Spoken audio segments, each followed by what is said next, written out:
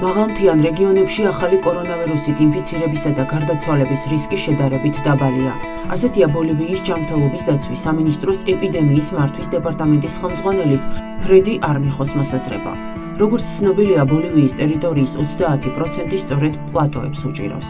ქვეყნის მაღალმთიანი რეგიონები ზღვის დონიდან 4000 მეტრის სიმაღლეზე მდებარეობს. ბოლივიაში პანდემიის დაწყებიდან დღემდე COVID-19-ით 510000 ადამიანი დაინფიცირდა და ავადებულთა 18% კი გარდაიცვალა.